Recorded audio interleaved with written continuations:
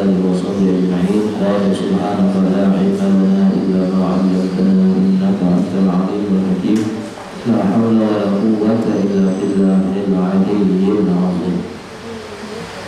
Alhamdulillah puji dan syukur kita berikan kepada Allah Subhanahu wa taala. Salawat dan salam kita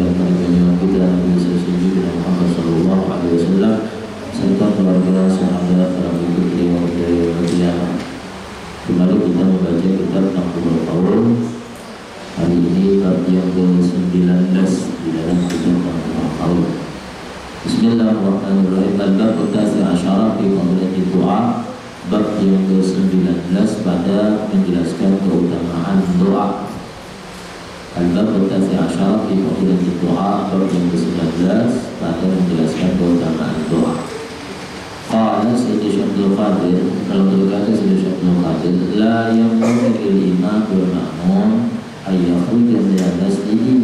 du'atin.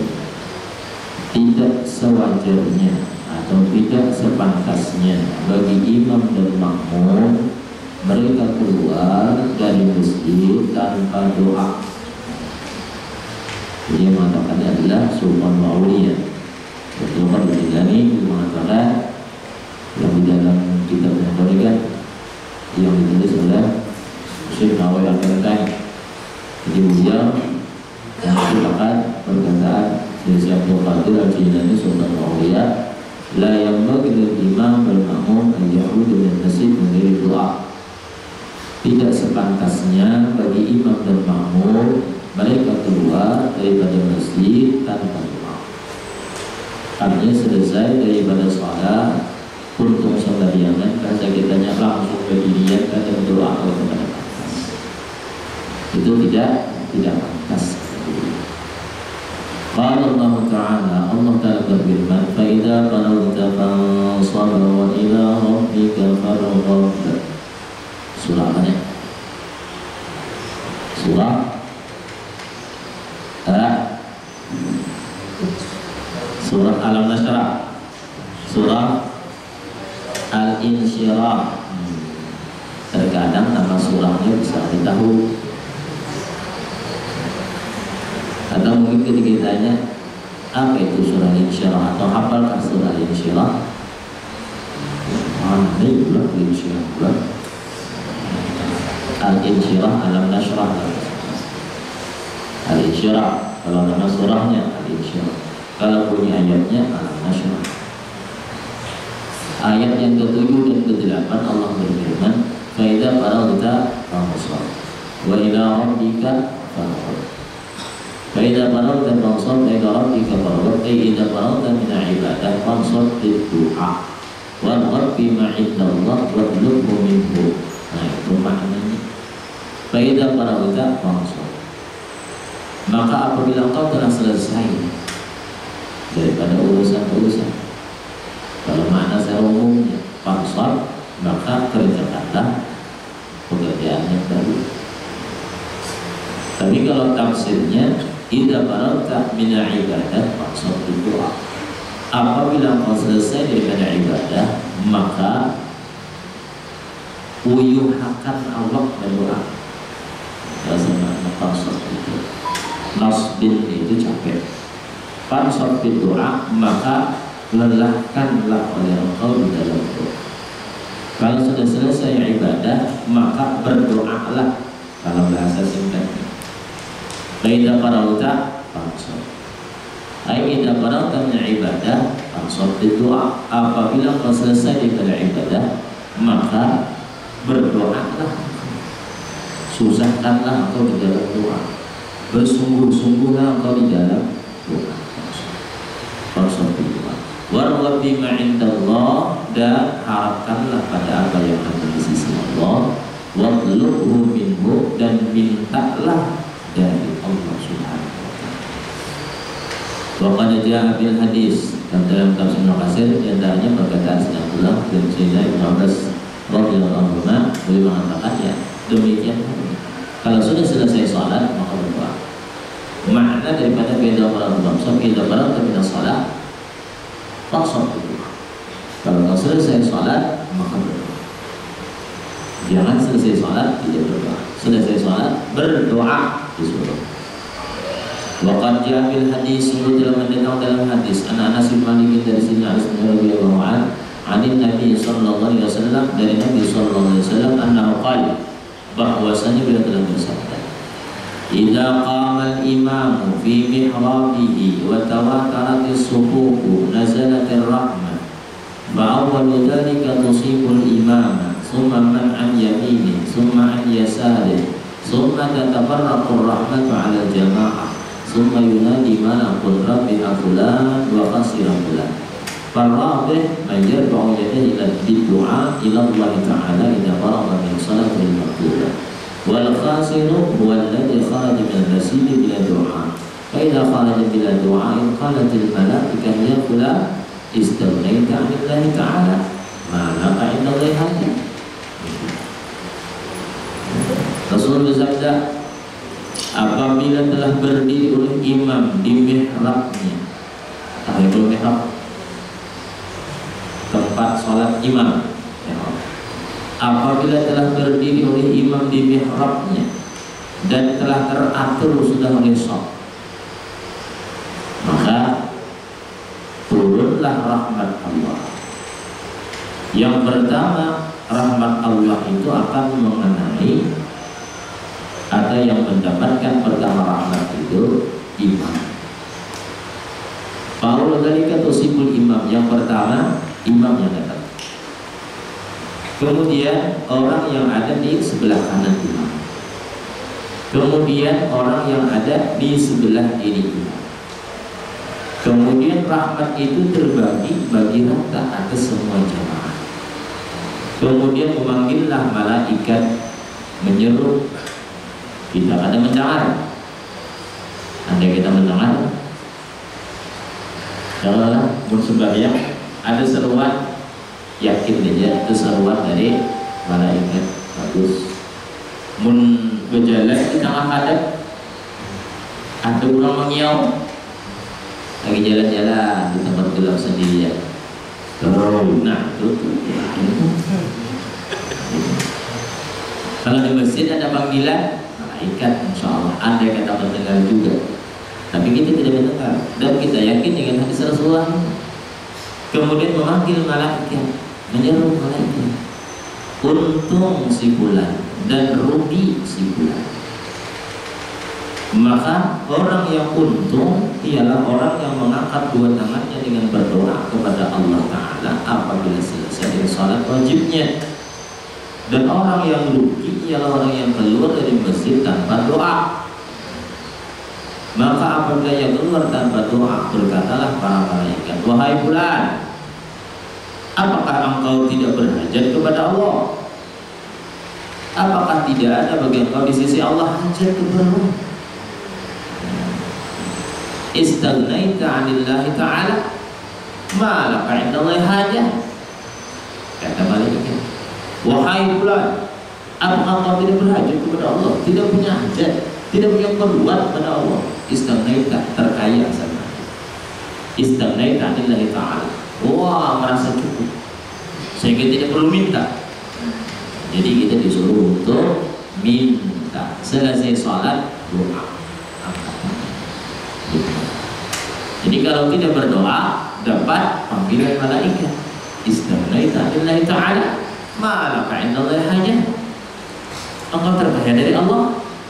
Engkau tidak punya hajat kepada Allah. Jadi kita berdoa. Ayo kira-kira nah hadir nih jelas sebelum berdoa kan? Berdoa aja kalau berdoa kan berdoa Berdoa. Tengah malam berdoa. Nah, berdua aja. Lalu balik. Berdua sih tengah malam berdua, berdua, berdua aja tengah malam berdua. Berdoa, doa, minta kepada Allah Subhanahu itu ibadah. Dan Allah perintahkan kita untuk berdoa apalagi selesai uh, sebagaimana insya Allah kita sudah sering mendengar. Rasulullah bersabda sudah disebutkan beliau ditanya ayo doa asma kapan doa yang paling didengar sabda Rasulullah mulai kapan Ayo doa asma. Kapan doa yang paling dekat? Artinya akbaru bil ijabah yang paling dekat dikabulkan. Kapan doa? Jawful lail tengah malam. Tengah. Jadi tengah malam bangun berdoa, ah itu waktu yang sangat-sangat mustajab. Waktu-waktu yang sangat-sangat diharapkan untuk dikabulkan doa. Maka kita tahu bang hadirnya malam bangun dua lah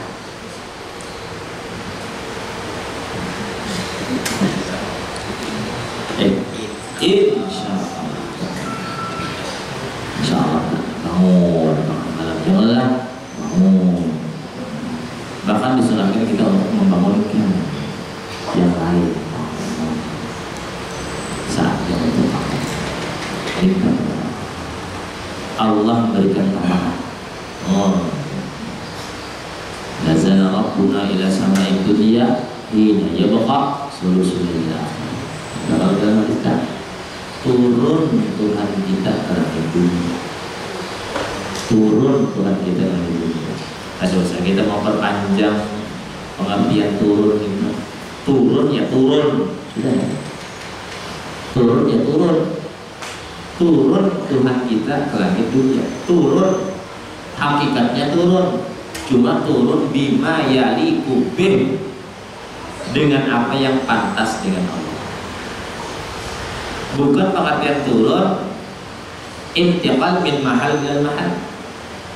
Berpindah dari satu tempat ke tempat lain intiqal min aqalu ila subuh berpindah dari tinggi dari atas ke bawah turun. Turun turun. Kemudian kita serahkan makna hakikatnya kepada Allah Nah itu kan ulama memahami jadi itu karena ibaratnya jelas turun Tuhan kita. Ke Rasulullah katakan demikian nazala rabbuna ila sama dunia hina yabqa sulusul akhir. Turun Tuhan kita ke langit dunia. Ketika tersisa sepertiga malam terakhir. Bagaimana turunnya? Wallahu a'lam. Maknanya turun selesai. Apakah dari atas ke bawah? Allahu a'lam. Yang jelas nuzul bima yali kubih dalam pengertian hadis turun dengan apa yang pantas Allah jadi turunnya di sana tidak bisa disamakan dengan turunnya sesuatu dari atas ke bawah. Tetapi tetap pengertiannya Allah Ta'ala turun. Selesai. Itu ya kan? Nah, kalau kita ada tahu, mungkin maknanya sudah dimanakan makna suatu. Oh, Kemudian Allah Ta'ala pun mengatakan Siapa yang minta kepadaku Maka aku. Man yas'aluni Fa'udir Siapa yang minta Uberi Siapa yang berdoa Ukabulkan Siapa yang minta ampun Uampuni cuma kitanya tuh termasuk fasilitas ini ya Allah. Padahal yang penawar ini siapa yang memberikan tawaran siapa Al-Ghani. Allah yang maha kaya Al-Mumni. Allah yang Al-Ghani Allah yang maha. Al-Mughni Allah yang mengayakan. Allah yang menjadikan orang kaya. Al-Wahhab. Allah yang maha. Maha. Al-Wahhab Allah yang maha memberi Ar-Razzaq Allah yang maha memberi rezeki Al-Fattah Allah yang maha membukakan jalan. Yang berikan tawaran ya ayo kalau ada masalah bangun malam angkat tangan doa ya Rob ulun punya masalah hutang ulun banyak. Esok sampai temponya duitnya kan ada. Ulun minta lampian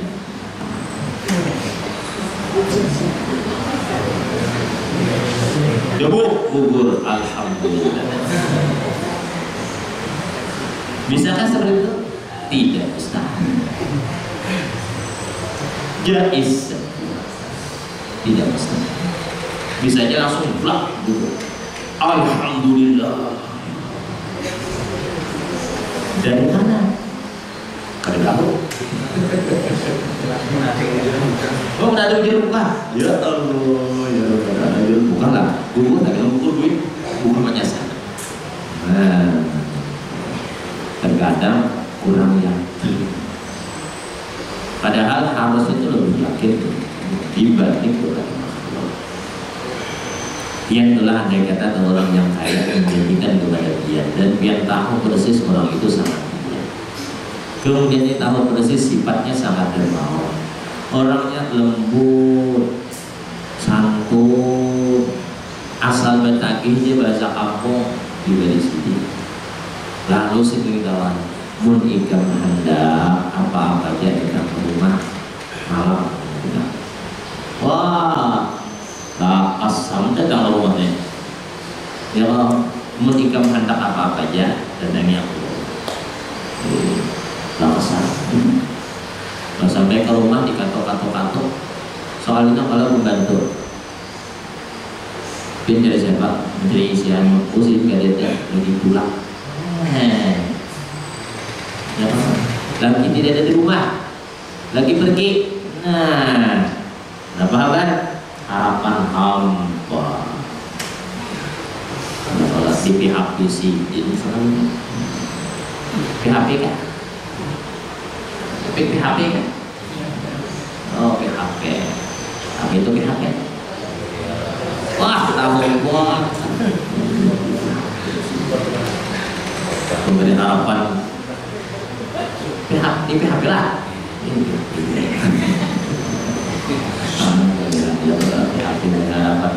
harapan harapan kan terima bakso eh bakso punya nggak diingat dulu harapan nah nah itu jadi Rasulullah nyatakan boleh tengah malam. Doa yang paling dikabulkan tengah yang sangat sangat diharapkan dikabulkan tengah malam. Tapi terkadang kita tuh bisa waktu malam tidak semua orang punya waktu untuk bangun malam terkadang tidak untuk ibadah. Bangun malam sudah sudah alarm untuk nonton sepak bola.